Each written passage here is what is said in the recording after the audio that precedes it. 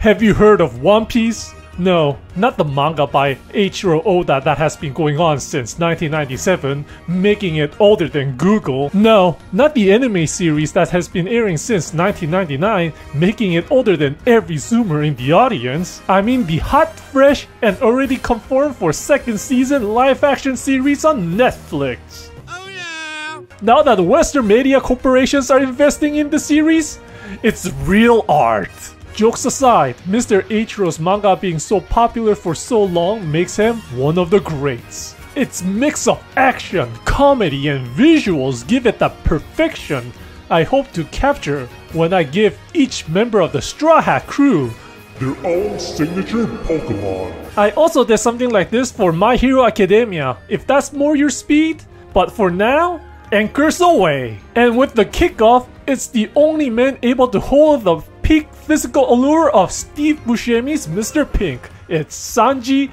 Blackleg Vinsmoke. Now, while many would give the kick focused ship either the Hitmonlee or Hitmontop, or even one of the various food Pokemon such as Leek wielding Farfetch'd or the Candy Apple Dipplin, but I've decided on Blaziken. Not only are the powerful drumsticks on this chicken able to clear 30 stories, but its fire type makes it incredibly helpful around the kitchen. Just don't make any fried chicken jokes around him, or you'll be reminded why the food isn't the only thing with a memorable kick. Up next is the man of many talents and even more alibis, Usopp. Liar, coward, inventor, sculptor, a good friend, and the enemy of state. I tried to think what partner could possibly be all these things. Perhaps Wishiwashi, the master of bluff, or even the illusionist Kecleon. No, the only Pokemon that could possibly be matched to the king of snipers is Sudowoodo.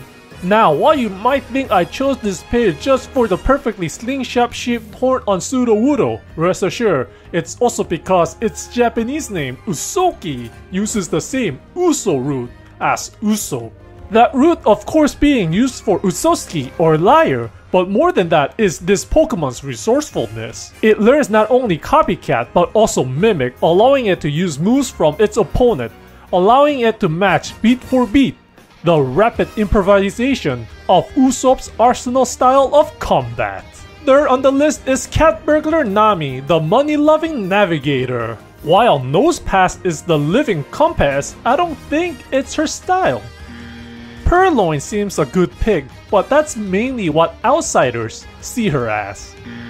No, for her main, it'd be something that would not only help with her formidable navigational skills, but also meshed with her fighting style of Usopp made Clima-Tact.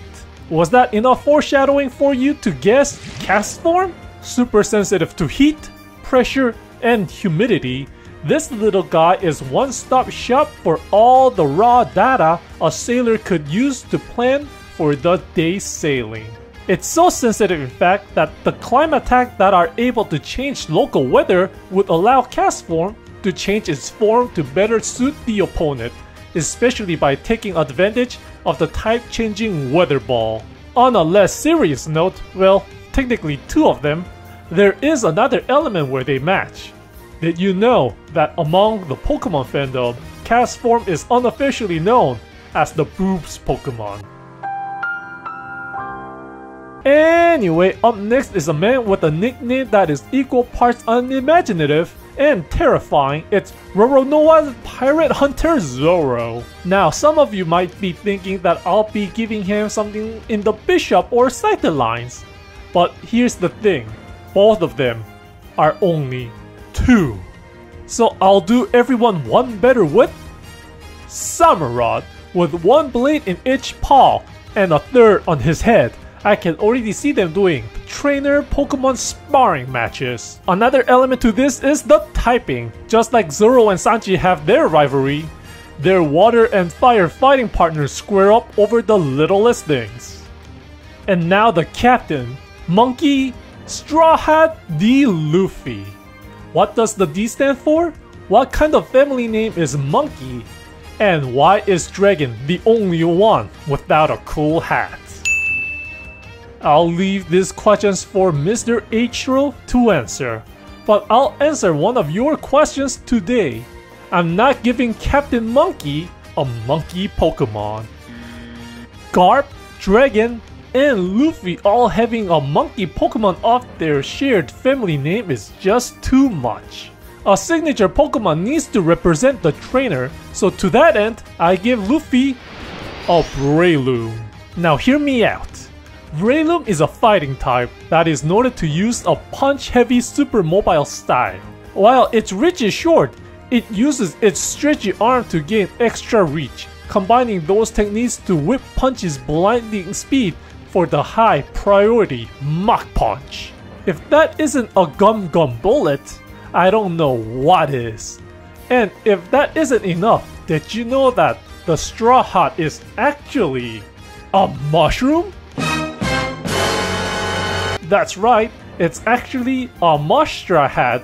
If you didn't know, now you know. And if you want to know more, go read the totally canon Chopperman manga. And that's my say in the Straw Hat Crew signature Pokemon debate. Hit the thumbs up if you had a nice watch and maybe leave a correct partners for each members of the crew. Or even tell me if you want to see me illustrate a whole team for the crew member.